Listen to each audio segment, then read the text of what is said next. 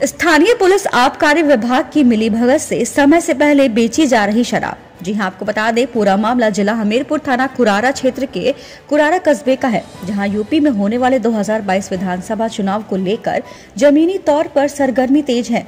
जिसके चलते हमीरपुर पुलिस अधीक्षक ने सभी थाना अधीक्षकों को सख्त हिदायत देते हुए अवैध शराब बिक्री, अपराधियों व अराजकता फैलाने वाले लोगों पर नकेल कसने को लेकर सख्त हिदायत दी है। लेकिन इसके बावजूद थाना कुरारा पुलिस के नाक के नीचे महीनों से देशी शराब ठेके में सुबह सात बजे से देशी शराब कार्टर जो कि सत्तर रुपए वाला सौ तक अधिक रुपए में बेचा जा रहा है। आप लगातार इन वीडियो में देख सकते हैं कि जब पत्रकारों ने कस्टमर बनकर देसी शराब दुकान नंबर एक और दो में सबसे पहले बिक रही देसी शराब का स्टिंग ऑपरेशन करते हुए इन दुकानों का भंडाफोड़ किया, जहाँ इन दुकानदारों के सेल्समैनों के द्वारा शराब बिकवाई जा रही है।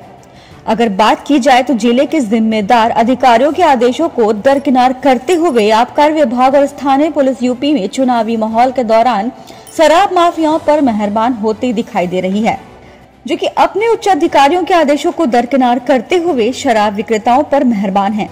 एक ओर जहाँ यूपी में चुनावी सरगर्मी तेज है, वहीं दूसरी ओर थाना कुरारा पुलिस की नाक के नीचे कुरारा कस्बे में सभी देसी शराब ठेकों के संचालकों द्वारा समय से पहले बेची जा रही शराब पर ज़िले के उच्च अधिकारी क्या कार्रवाई करते हैं?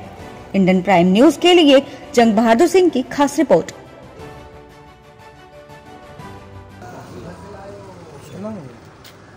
पता नहीं हमें तो पता साठ रुपये मिलेगा सत्तर का चलो होगा दस पाँच रुपये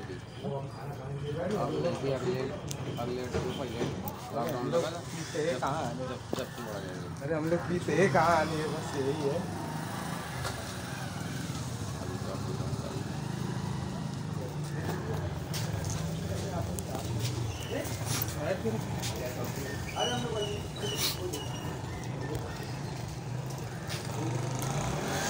मिल गया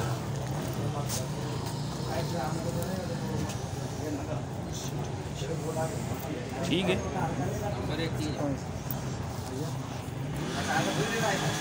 तो देख सकते हैं, इस वक्त हम आ चुके हैं कुरारा में, जहाँ पर यहाँ पर शराब माफिया, यहाँ पर समय से पहले शराब बेचने में लगे हुए हैं। लगातार एक स्टिंग ऑपरेशन को मैंने भी बनाया हुआ ये लगातार देख सकते हैं, ये भाई साहब सज्जन है। जो लगातार यहाँ पर समय से पहले शराब बेच रहा है। इस वक्त हम कुरारा आ चुके हैं। कुरारा कस्बे पे हम मौजूद हैं, जहाँ पर ये भाई साहब हैं, इनसे नाम जानेंगे। और ये ठेका तो देसी है। भैया, क्या नाम है आपका? सुरेश। तो भैया, ये बताइएगा कि आचार संहिता चुनावी हलचल चल रही है और सरकार ने सख्त आदेश दे रखा है। इसके बावजूद आप समय से पहले शराब बेच रहे हैं। क्या पूरा मामला है? क्यों बेच रहे हैं आप नहीं, क्यों बेच रहे हैं आप? जब सरकार ने भैया अभी तो ठेका खुलने टाइम नहीं हुआ ना, अभी तो नौ नहीं बजा है। और आप समय से पहले शराब बेच रहे हैं। ठेका किसके नाम है? कितना बज रहा है? नौ बज के सात मिनट अभी हुआ है, आप शराब बेच रहे हैं। तो भाई साहब, ये तरीका गलत है तुम्हारा, और इस तरीके को लेकर अभी हम तत्काल पुलिस को सूचना देंगे। और देखते हैं इस पर आबकारी विभाग क्या कार्रवाई करता है। देख सकते हैं, ये शराब ठेका है, कुरारा, आप देख सकते हैं, ये बोर्ड लगा हुआ है, देसी शराब की दुकान। और दुकान number zero one bus stop Kurara Hamirpur अनुज्ञापी Purnima Dwivedi ji का, के नाम ठेका है, और ये यहाँ से शराब दिया गया था। तो हो सकता है कि शराब और भी यहाँ से हो। विनोद, इधर आओ। इधर आओ। दूर हटिए पहले आप। दूर हटिए।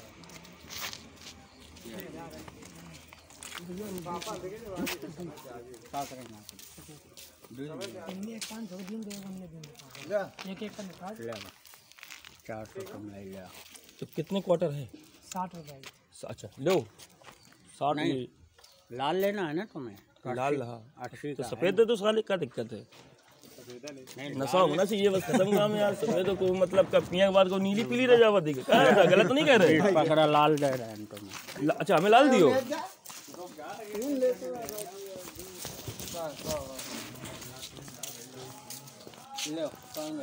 लो लो।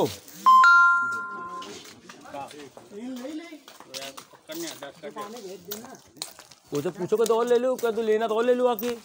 हमसे ना कहना, बोली हमें पीने हैं।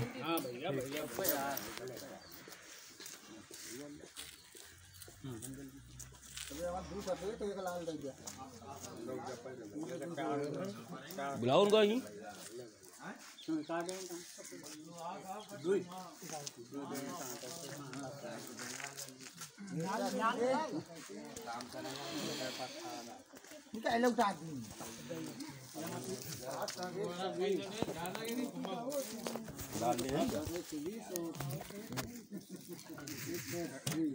लाल वाली क्या रुपए की दी हो भैया? अस्सी रुपए का।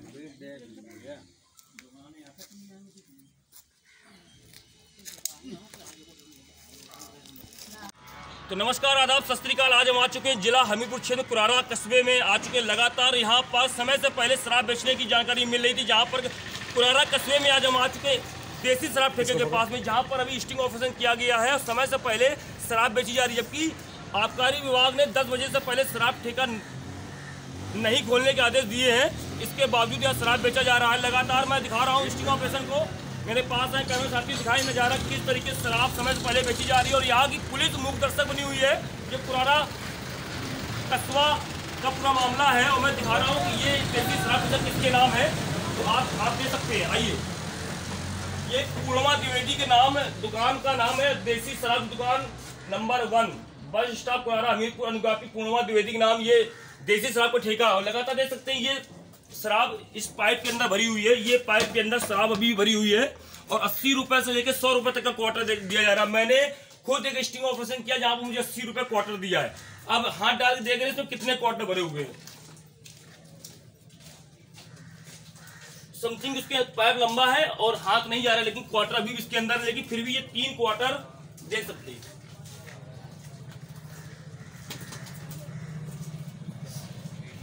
अभी नौ बजा है। नौ बजे शराब सुबह से ही बेचना चालू कर देते हैं। ये नज़ारा देख सकते हैं ये पुराना कस्बे का पूरा मामला जहाँ की पुलिस यहाँ की कोतवाल मुख दर्शक बने हुए हैं और समय पहले शराब बेची जा रही है। ये देख सकते हैं। देखते हैं इस खास रिपोर्ट को इंडियन न्यूज़ पर कि आप ज़िले के जिम्मेदार अधिकारी और यहाँ के आबकारी विभाग इस दुकान पर क्या कार्रवाई करते हैं देख सकते हैं। मौके में पुलिस भी है शायद उनको बुलवाइए। तो ये पुलिस भी आ चुकी है मैं उनसे बात करता हूँ। देख सकते हैं ये शराब का पूरा मामला?